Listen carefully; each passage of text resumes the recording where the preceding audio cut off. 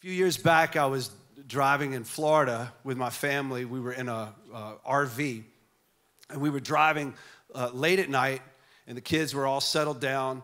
And something happened with the temperature uh, outside and inside to where my windshield started to fog up.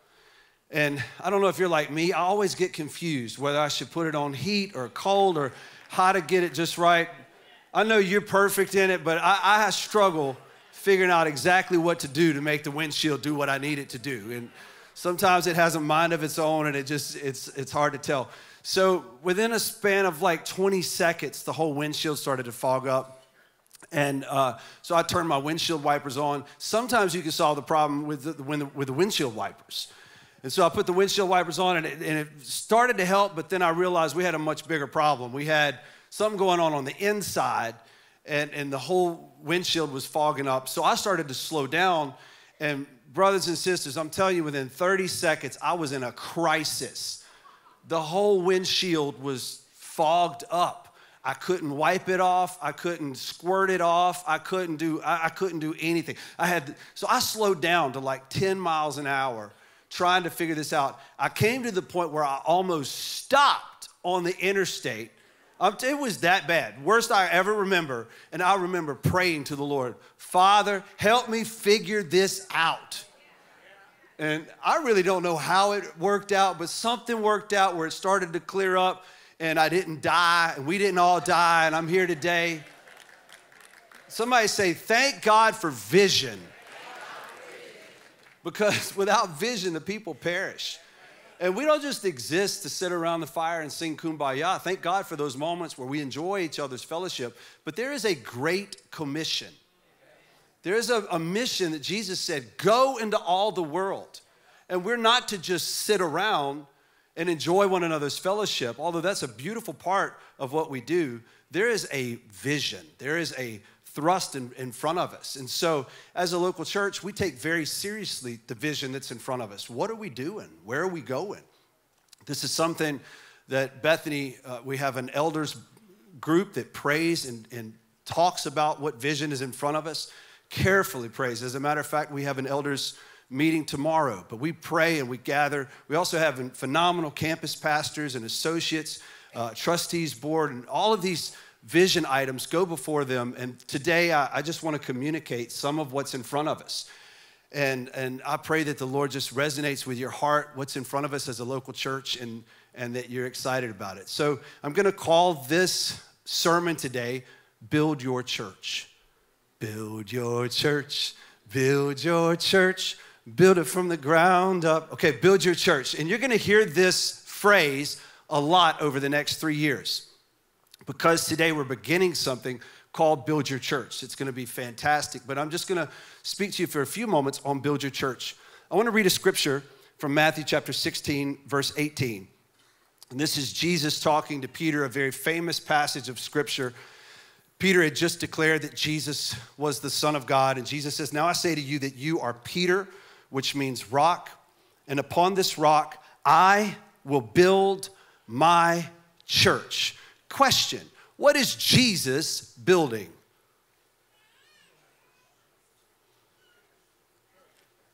If you just took, looked at this scripture and answered the question, What is Jesus building?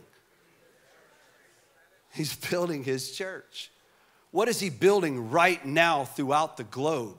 His church. And there are some who would want to deconstruct it, pull it down, say it's not valuable, say we don't need it, we don't. But Jesus is building his church. And it says, and all the powers of hell will not conquer it.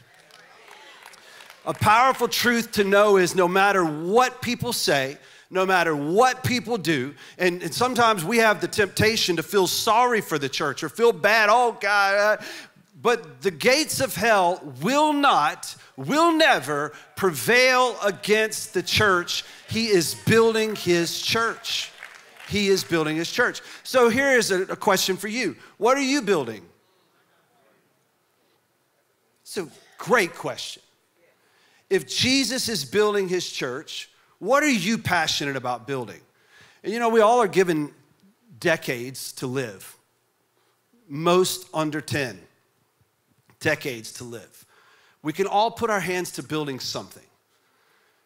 Put our hands to building a business, put our hands to building a brand, put our hands to building a life, a family. We're all building something. All of you in your minds right now, you're thinking about what you're building. You're building some sort of a portfolio, whatever the case may be, you're building something.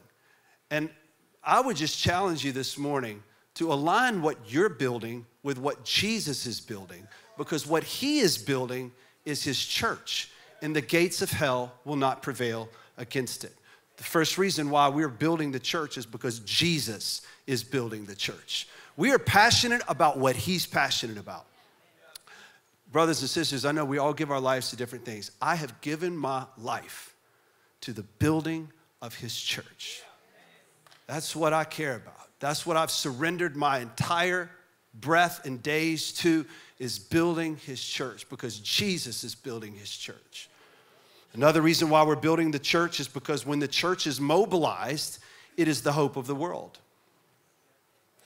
The church mobilizes the hope of the world. The government is not the hope of the world. It's truly not. And we love, I mean, America's an incredible country.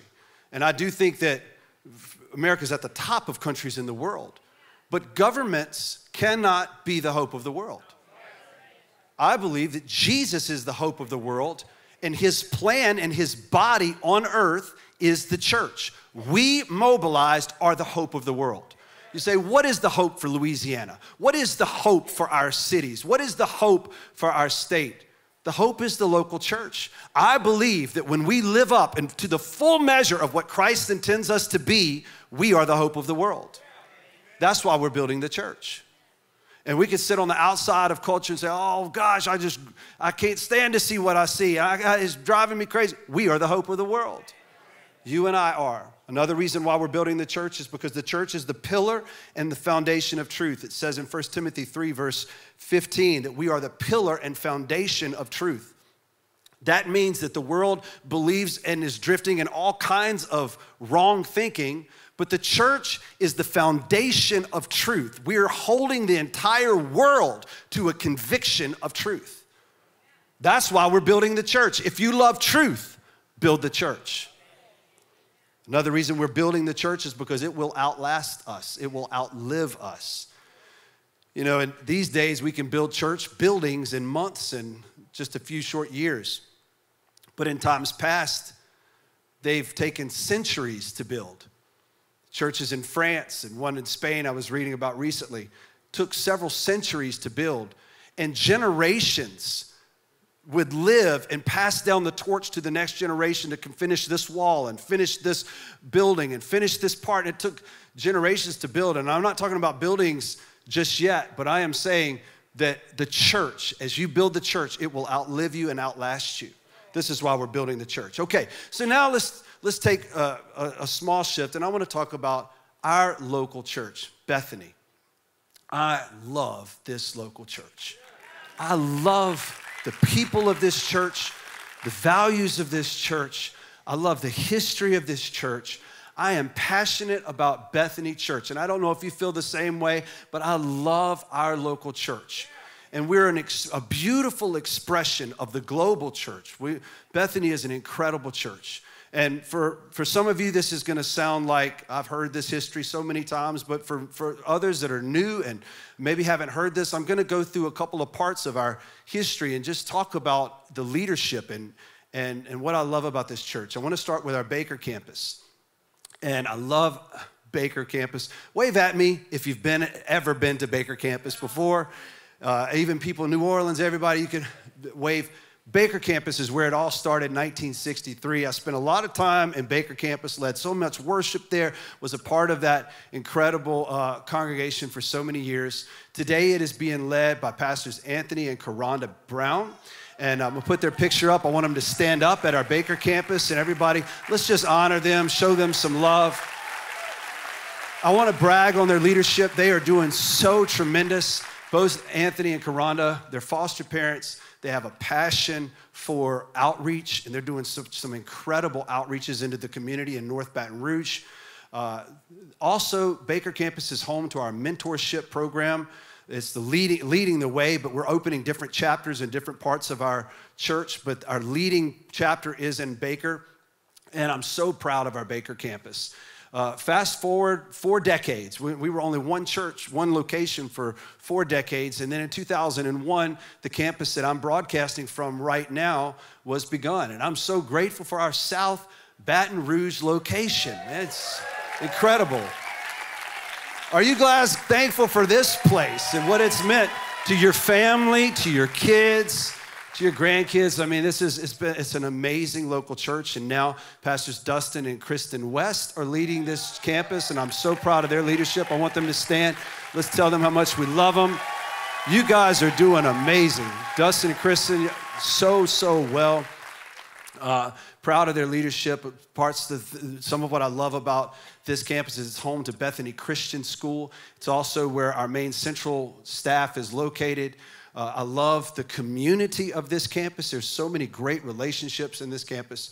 Fast forward to 2014.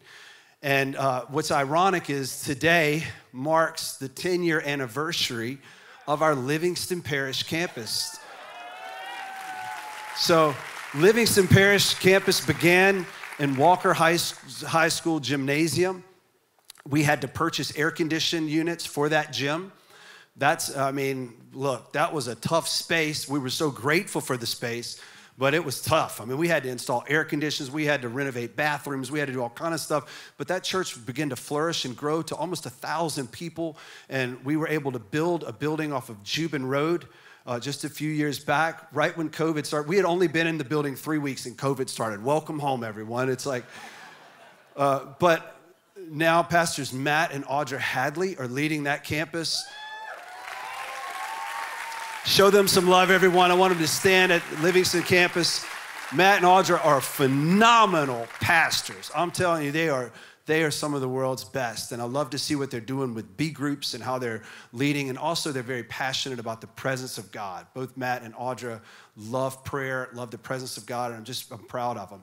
Fast forward to 2017, uh, where something birthed in our hearts towards Terrebonne Parish down in Cajun country and Thibodaux, and Houma, we were able to launch an H.L. Bourgeois High School, our Houma campus. Pastor Simon and Wanda Abear pioneered that campus, and then they transitioned the leadership to Ross and Dottie Abear. And I want Ross and Dottie to stand at our Houma campus now, and I want to give them, give them some love. I'm so proud of you guys. You guys are amazing leaders. And we were able to purchase the, the First Presbyterian Church right there in downtown Houma uh, last year. We purchased it, and now they have a full time uh, sanctuary that is our own. And, and they're at two services now, packed out in Houma, in uh, Houma campus, and just proud of their efforts. They have a, a, an outreach to the homeless that is amazing. They do men's and women's specific uh, ministries that are fantastic. Let's fast forward to 2021. In 2021, we know we were all going through COVID. COVID was a crazy time. And as a church, we had to make the decision should we pull the reins back on renovating our Canal Street property or should we move forward? We decided to move ahead because we knew that at some point COVID was going to be over and we wanted the mission to continue there. And so we finished building that building, and, in, in the fall of 2021, we launched our New Orleans campus. And for the rest of the church that doesn't know, maybe hasn't visited, what God is doing on Canal Street is extraordinary extraordinary. Uh, I'm so proud of that campus. I'm so proud of its leadership. Just last week, we all know New Orleans is known for Mardi Gras, and the Endymion Parade is the largest parade in, uh, in Mardi Gras. Our church is on the route of the Endymion Parade. I'm talking about tens of thousands of people passing by, and our church sprung into action and has every year to do outreach and ministry to all of the people that are there. A phenomenal outreach, and Pastors Chris and Danielle Burns have been leading the church there. Uh, they come from a, a background of prayer and so they have opened up multiple nights a week to pray. People are gathering there on Monday nights, Tuesday nights, Wednesday nights, Thursday nights. They are praying uh, and uh, doing such a tremendous job. They just got burdened to open a chapter of our BTS, our Bible training school, there in New Orleans. And in their first semester, they had 18 students sign up, and they're a part of the BTS there in New Orleans. So let's go, New Orleans. so incredible.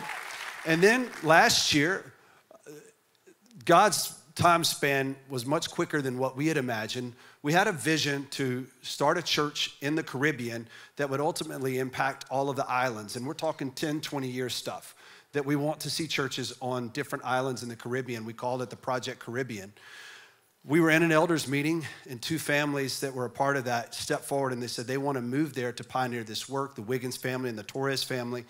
And last year, if, if you weren't here, we prayed over them and we sent them out to start the work. We sent four missions trips, we did a crusade, um, and the work there is going amazingly.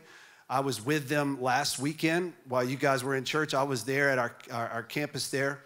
We are still meeting in homes. Uh, and last Sunday morning was held in the Wiggins home there in Puerto Rico, and almost 50 people. And we're talking about people, we didn't know anybody, like zero. And the Lord has drawn some incredible families together to be the, the nucleus of this new church in Puerto Rico. And only God could cause all of this to happen. It's amazing. But uh, I want to give an update on some of the property. You know, last year we, we, we found some property and we wanted to build a missions base. Um, it's not easy buying property in somewhere that's not within the 50 states because there's so many processes that have to go, uh, go through. So it's been a year we've been trying to close on this property through environmental studies and all the things. But the good news is uh, everything is cleared and we're, we're within a 30 day closing window on this property. What's going to take place on this property is we're going to build a missions headquarters. We're going to be able to send our teams, people from, uh, from Louisiana, to there. We're also going to open a chapter of BTS in Puerto Rico. And this property will be the headquarters for that Bible training school and for all the missions trips that go there. And so uh, I want to give you an update. Up until now, we've been able to raise $859,028 to go towards the purchasing of this land and towards the construction of this missions base. We're still a few hundred thousand dollars away from being able to finish the missions base, but I can see the, uh, the end within grasp, and it's going to be amazing. And when you sign up to go on a missions trip, you'll be able to go and stay at our properties there in Puerto Rico. Yeah, that's so cool, man. That is, that is fun. That is cool. An item to be praying about with that particular project is as the church is growing, eventually we're going to also need a place for the church to assemble and so be praying just for divine favor. Be praying that God opens up a door, a building, the right space for us to meet in, uh, because I know He's got a plan for that. You know, do you remember the part in the scriptures where Jesus said, Go into the town and you'll find a man. Tell him the master has need of the room and he'll already have the room prepared. Look, when God needs a room, He's able to make it happen. And so just, just be in prayer that the Lord would cause there to be a sanctuary, a place where, because the Wiggins uh, home with 50 people in it is kind of comical. it's, it's crazy. So, uh, but God is going to provide uh, a space for us. Now, I want to tell you something exciting that's happening that is 2024. Last year, I gave the vision for us to multiply and for our different campuses to multiply. And we are seeing the first fruits of that as our Baker campus is launching their associate pastor, Pastor Wyatt and Becca Shelton, to launch a campus in Ascension Parish, Gonzales, Prairieville, Dutchtown. And next weekend, we are beginning a brand new campus in Ascension Parish. Come on, everybody, let's celebrate. And I have Pastor Wyatt and Becca up, and it was a sacrifice for them to be there here today because uh, they are setting up the sound systems and the video in trial run for our launch next week. But I said I would love for you to come and for us to be able to see your faces and pray over you and just tell you we're behind you 100%. Wyatt, take 20 seconds and tell us what's in your heart for Ascension Parish. Man, there's so much in my heart for Ascension Parish. I believe that this uh, church that we're about to launch is going to be defined by ministry to the next generation and to families. We've had such an open door at this school to even come in and they want to partner with us to do events at Sugar Mill Primary School. We're looking at doing extravaganza there, possibly. And so there's this huge open door for us to minister to the families that are moving into that area and for it to be defined by that. And I'm, I'm excited about that. Wonderful. Guys, would you stretch out your hands towards this? This beautiful family. Uh, they're not getting a lot of sleep these days with the launching of a new church and welcoming their first child into the world, but y'all are doing a tremendous job. Lord, we just pray over this beautiful family. Lord, we thank you for Ascension Parish. Thank you for Gonzales and Dutchtown and Prairieville, St. Amant. that entire region. Lord, there's so many people there that don't know you. There's so many people that are lost right now and they need direction. They need to find you. Lord, I pray that you would anoint Wyatt and Becca.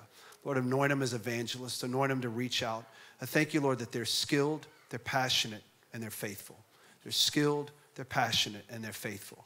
Lord, we just pray over them today. We just we bless the Ascension Parish campus. And Lord, I thank you for what it's going to do in the years to come. Lord, even today, as we're celebrating 10 years in Livingston Parish and the lives that have been changed, Lord, let us look up in 10 years and just see an amazing work established in Ascension Parish. In Jesus' name, amen. Amen. Amen. All right, guys. So thankful. Y'all give it up for them one more time. Wow, so incredible. So let's let's shift to what can we do practically with people. You know, Bethany has a lot of statements, and we have our mission statement, which is to bring all people into the life, the family, and the purpose of God. We have our vision statement, which is if we do our mission faithfully for 10 years, we're gonna grow healthy churches that multiply globally. Grow healthy churches that multiply globally. And it's our heart to see multiplication globally. We believe in what God is doing here, and we want it to be multiplied.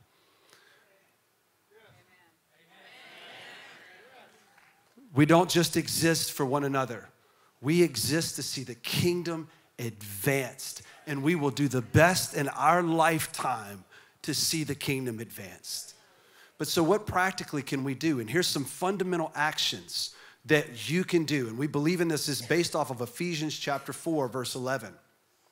That some are going to devote themselves to prayer. Prayer builds the local church. We start everything with prayer. Without God, we're nothing. This is not our thing, it's His thing. We must seek His face. We must cry out to Him. Prayer is what brings the supernatural. Prayer is what brings the anointing. Prayer is what causes what we do to flourish and to work. So we pray. We pray individually. I want to encourage you to be individuals of prayer. Don't just pray before mealtime, don't just pray at Sunday morning church. Pray at all times. Develop a lifestyle of prayer prayer. Be a praying people. And that should be a goal for yourself. I want to be a praying person. But we're also a praying church. We assemble and we pray at every campus every Wednesday night for one hour. We're praying corporately. I believe in the power of corporate prayer to move spiritual mountains. And so we pray. This is a value, and prayer builds the church. Throw yourself into prayer. And through the next, uh, through the upcoming months, uh, we're going to even escalate our prayer. We're going to push the throttle even harder. We're going to pray and seek God. Our country needs prayer, our world needs prayer, and we are going to pray. Amen. The second fundamental action that we do is evangelize. I'm so glad the gospel came to us, but it's got to go to others. You know, if you do a calculation in our cities, for instance, New Orleans, with 1.8 million people in the greater New Orleans area, think of the gravity of how many people are lost and don't know Jesus how many people in our cities of Baton Rouge and Livingston Parish, we're talking of hundreds of thousands of people who don't know Jesus, don't walk with Jesus. If we keep this gospel to ourselves, we're going to be accountable. And, you know, so just as every believer should pray, we should all open our mouths and share our testimony. We should share the gospel with people. We're an evangelizing church. And so ask the Lord to help you step out of shyness, to give you courage, to open your mouth and proclaim. But that's also why when we assemble, we give altar calls for people to give saved on a, on a, on a weekly basis. Salvation. Thank God we see thousands of decisions every year for Christ in our gatherings. And that's why we baptize, because we, those people that are saved are baptized. So we're an evangelizing church. The third thing, fundamental action, is community. Community you're like well that's not a that's not a verb. It can be. If you invest yourself into community this means that church is not just a service you attend but it's a family you embrace. You you you say hey this is my crew. I care about this crew. And and, and we're a, we, we care about one another. That builds the church. The fourth fundamental action is that of discipleship. We don't leave people as babes in christ. We grow them in their knowledge of the word so they know what the bible teaches.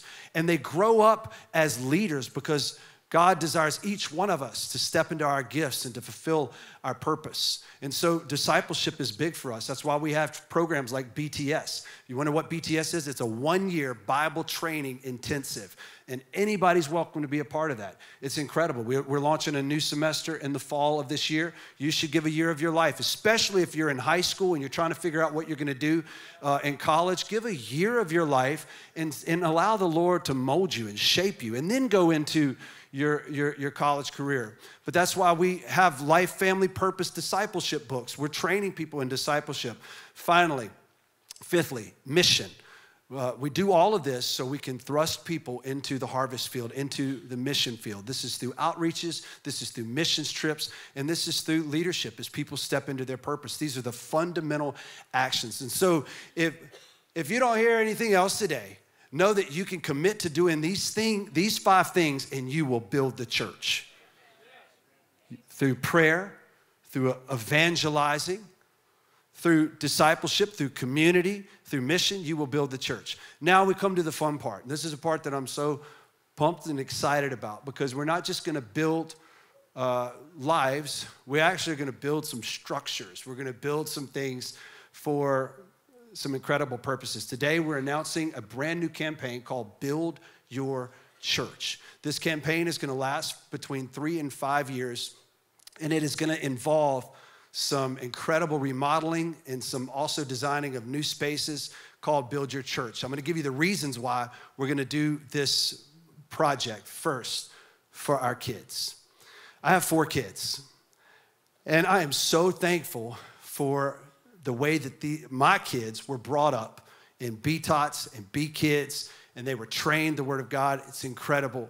But it, we're, we're going to do some things that are going to make our kids' experience at Bethany go to the next level. So, uh, so we're going to build our church for our kids. The second reason why we're going to build our church is for the next generation. Uh, and it's not the same as our kids. I'm talking about the next generation of leaders, the next pastors. Did you know that Wyatt and Becca, the people we just prayed for, went through Bethany College, and that's why they're becoming pastors, is because they are trained. We've just prayed over them. They met each other in Bethany College. I mean, they are homegrown, home fed. So, if, I mean, you don't have a better picture of why we are investing in leaders for tomorrow is because we're releasing pastors, we're releasing leaders. And so we want to build uh, things for the next generation. We also want to build our church for our fellowship and for our gatherings. We want spaces where we can come together share coffee, be with one another. Uh, here at our South Baton Rouge campus, I don't know if you've experienced the tightness of our lobby spaces, but you uh, watch when you exit this service, you're gonna be crawling through there trying to get your kids standing in line, like, oh my God, I need to build your church. you know, we for our for our gathering. Also, we want to build our church for our worship experiences. I love what the Lord is doing through our services, which are broadcast around the world.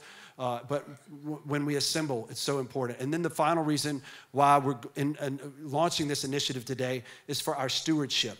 Some of the projects that we're going to take on, it actually saves us money in the long run to build new and to build different than to continue paying current utilities on old buildings that can't service well. And if you plan it out over 10 years, it's more economical and more uh, geared towards our stewardship for us to do these projects. With that said, uh, I'm going to introduce what these projects are. Are you ready? Yeah.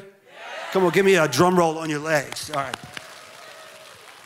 Phase one of this project is going to be a complete reimagining of our South Baton Rouge campus. Very excited about this. This first is going to take place with our kids. We're going to spend a, lot of money making our kids' space phenomenal. Uh, some of the original concepts and drawings include indoor playgrounds that are like super cool, uh, but also enlarged gathering spaces, updated gathering spaces for our kids. This also is going to include uh, a, a new place for Bethany Christian School. I love Bethany Christian School. It was founded, I believe, in the early 80s or late 70s by my grandmother.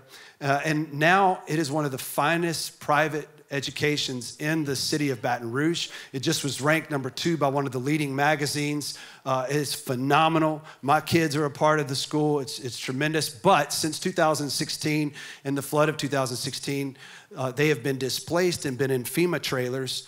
And so the, the education is phenomenal, but it's time that we get them a space that's, that's worthy of the education that they are receiving. And so that's going to be a part of this project. Also, a brand new lobby space and gathering space for our South Baton Rouge campus that's expanded to where we're not shuffling through and trying to dodge each other. Uh, and then, with whatever's left, we're going to do some updates on our sanctuary space to bring it up to the technology where we can serve the next few decades in doing that very well. So that is our South Baton Rouge campus. It's phase one. Phase two uh, moves to our Baker campus. And uh, I'm excited. I know they're cheering right now. I'm pumped about what we're about to do in Baker. You know, in 1983 and 84, a 6,000 seat auditorium was constructed. 6,000 seats. And if you were to estimate how much it took to build that building, you would probably say 20 million, 30 million dollars. Two and a half million dollars it took to construct our Baker campus. Insane. Crazy. I cannot believe that that was pulled off. My dad and, and some of the team just did a tremendous job of pulling that together. But in its current form, the efficiencies of the utilities uh, alone, as we've done the math, it is much better for us to update everything and to reimagine what Baker Space could look like uh, just from an economic standpoint. And so, phase two of this is going to be a complete uh, reimagining of our Baker campus space. And the mentorship uh, program that's going on there will have a phenomenal home to be a part of. And so, in the upcoming months before 2025, you're going to be hearing more and more details about exactly what that looks like, but I'm excited for it. And then the final stage of this is going to, going to be building a place for Bethany College and BTS, our Bible training school building places where uh, people can have practical hands on ministry, as well as some classroom spaces for Bethany College, and that'll be the final phase of this. And so, this process, process and project is going to take us three to five years. Uh, and I'm believing over the next three to five years, we'll be able to raise $20 million in extra cash to be able to pay for this. And look, I want you to look at your neighbor and say, You got this. You got this. I know you got this. And they don't have it individually, but collectively we are powerful. And what we can accomplish together is amazing. I have so much confidence in uh, in you and your generosity, but I have more confidence in God's ability to provide you with the resources to do this. You say, I don't have any more room. Watch God stretch what you, what you have and add to so you can accomplish it. To the level that you'll pray and obey, God will stretch you and He's going to provide all of this because He's a good God. And we'll look up in three to five years and we'll be on to our next projects because there's going to be more and more and more. I'm just telling you, if you're part of this church, we're not going to stop. We're not going to take our foot off the gas. We're not relaxing. We're, we're going to work until Jesus comes back, and it'll be one project after another. And so I'm excited to announce to you guys the Build Your Church campaign starting today. But practically speaking, you say, well, okay, Pastor, this is going to be a lot of money. How do I fit in? How can, how can I contribute? The first thing, I want to encourage every one of you to be a tither. If we all were tithers, we probably wouldn't even have to announce a campaign because we would take care of this quickly. So, the very minimal thing you can do is obey the scriptures and be a tither. If you are a tither, that, that's going to be a huge part of this. So I would just encourage you walk away from this uh, vision meeting today and say, you know what, I'm going to be a tither. And this is not something I tell people to do and don't do, practice myself. I make it an act of worship. When I tithe, I, I kneel and I say, God, I'm bringing to you the first, the best. You are my God, and I give you the tithe. And, and I experience his blessing in ways you could not imagine but become a tither. Second way that we're going to accomplish this is you be creative.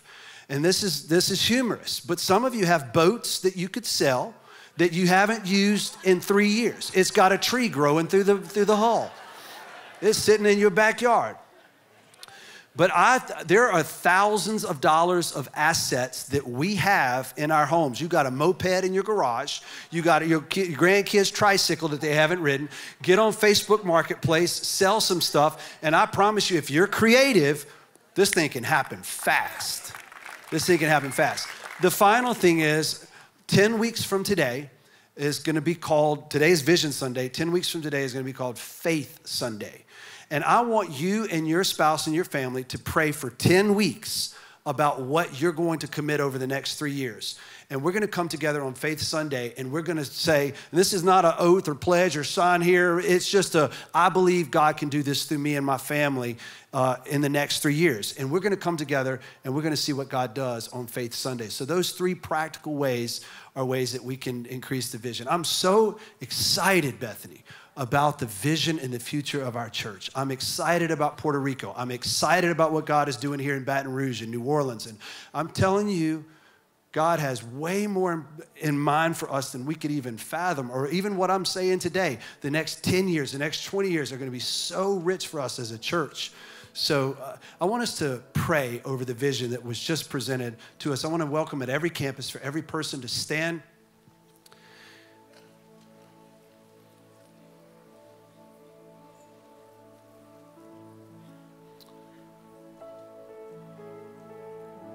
Amen. Hey, I, just want to hear from you. Are you happy about the vision? Are you excited about where we're headed?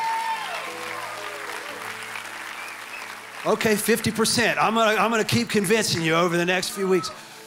No, I know you're excited. I know you're thrilled. Let's dedicate this to the Lord. Lord, we present this vision to you. Lord, from each campus that you've established and the new one that is coming next weekend and what you're doing in Puerto Rico. Lord, what you're doing through each one of our lives, our, our homes, our B groups. Lord, and we present this Build Your Church campaign and initiative to you. Lord, from this day forward, I pray that you miraculously and hilariously provide all that we need to see all of this vision come to pass. Lord, we believe you for it. We know that you're capable of doing exceedingly abundantly more than we could ever ask or imagine. You're a great God with endless resources.